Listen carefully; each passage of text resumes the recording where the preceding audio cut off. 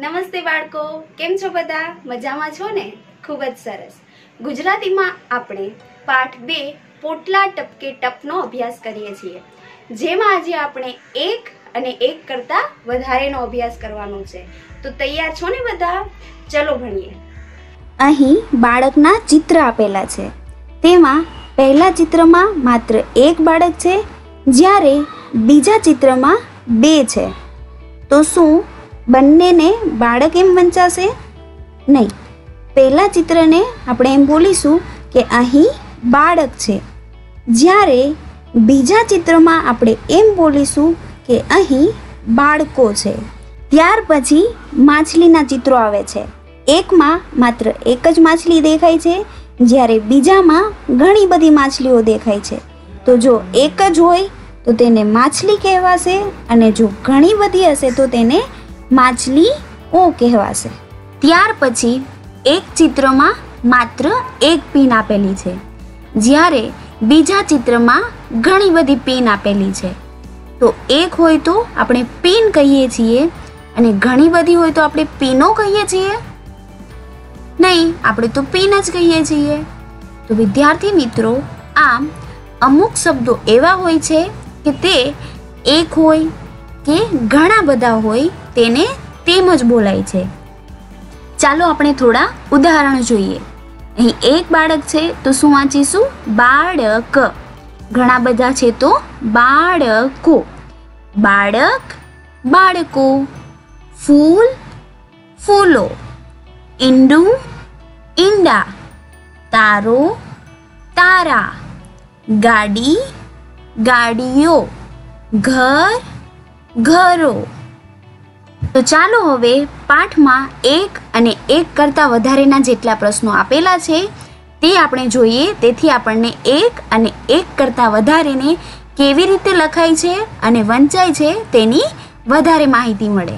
ચલો બાળકો, અહીં પ્રશ્ન આપેલો છે કે જ્યાં એક હોય ત્યાં એક લખવાનું છે અને જ્યાં એકથી વધુ હોય ત્યાં વધુ લખવાનું છે. તો આના જવાબ તમે જ મને આપશો. તૈયાર છો ને બધા? હા ટીચર. ખૂબ જ સરસ. પહેલું વાક્ય છે મેં તળાવમાં ચાર બતક જોયા.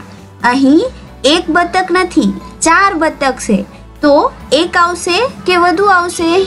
વધુ આવશે ટીચર. વેરી ગુડ બીજું વાક્ય વાંદરાને કેળા ભાવે છે. અહીં કેળું નથી કેળા છે. તો એક આવે કે વધુ આવે?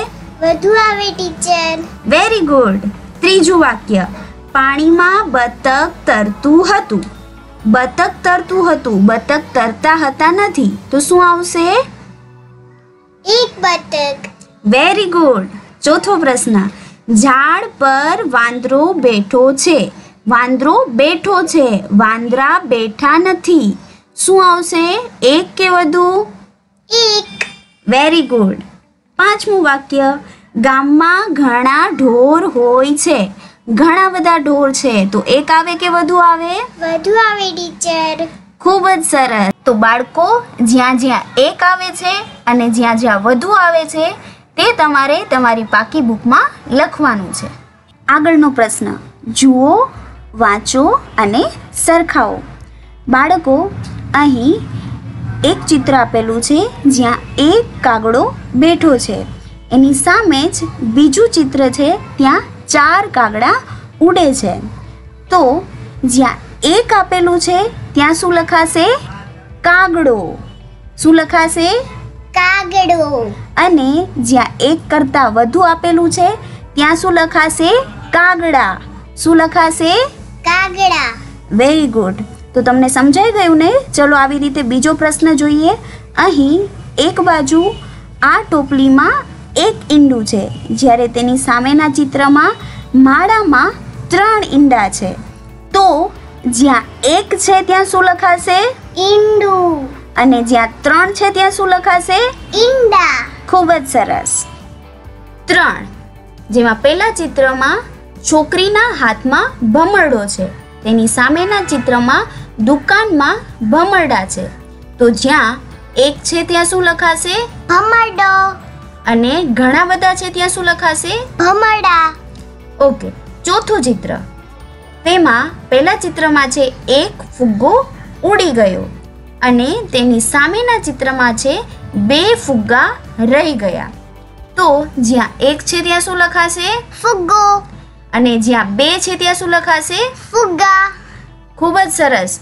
ચલો હવે આગળનો પ્રશ્ન કરીએ. આગળનો પ્રશ્ન છે સાચા વાક્યની સામે ખરાની નિશાની કરો. વિદ્યાર્થી મિત્રો, અહીં બે વાક્યો આપેલા છે. એમાંથી જે વાક્ય સાચું હોય તેની સામે ખરાની નિશાની કરવાની છે. તો ચલો જોઈએ પહેલું વાક્ય. પહેલું વાક્ય છે, અહીં બે માટલું છે અને અહીં બે માટલા છે. તો આ બે વાક્યમાંથી કયું વાક્ય સાચું છે? પહેલું કે બીજું? બીજું વાક્ય.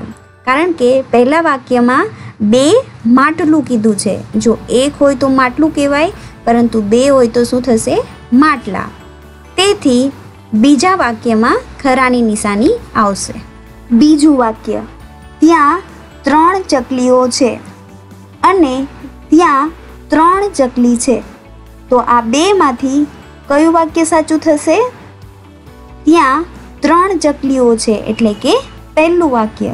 કારણ કે જો ત્રણ હોય તો તેને ચકલીઓ કહેવાય અને એક હોય તો તેને ચકલી કહેવાય.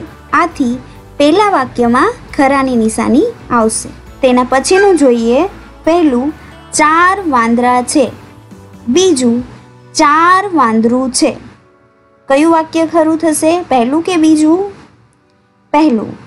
કારણ કે ચાર હોય તો તેને શું કહેવાય? વાંદરા. વાંદરું કહેવાય નહીં. તેથી પહેલું વાક્ય ચાર વાંદરા છે. તેની સામે ખરાની નિશાની આવશે. ત્યાર પછી પહેલું, મારા પપ્પાએ મને મારું ગમતું પુસ્તકો ભેટમાં આપ્યું.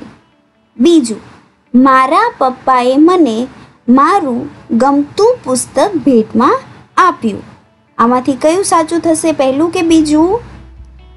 બીજું, કારણ કે જો એક પુસ્તક હોય તો તેને ગમતું પુસ્તક વંચાય. પરંતુ પહેલા વાક્યમાં તો ગમતું પુસ્તકો એવું કીધેલું છે. એટલા માટે બીજા વાક્યની સામે ખરાની નિશાની આવશે. ત્યાર પછી, મેં તળાવમાં બતક જોયા. બીજું, મેં તળાવમાં બતક જોયું.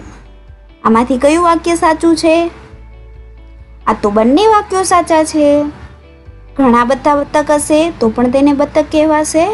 અને એક બતક હશે તો પણ તેને બતક કહેવાશે. બતકો એવું કહેવાશે નહીં. તેથી મેં તળાવમાં બતક જોયા અને મેં તળાવમાં બતક જોયું. આ બંને વાક્યોમાં ખરાની નિશાની આવશે. તો શીખી ગયા ને બાળકો? એક અને એક કરતા વધારેને કેવી રીતે લખાય? ખૂબ જ સરસ. આજે આપણે જેટલા પ્રશ્નો જોયા, એને તમારે તમારી નોટબુકમાં સારા અક્ષરે લખવાના છે. આવતા પાઠમાં આપણે સરસ મજાની વાર્તા બનાવતા શીખીશું. આવજો!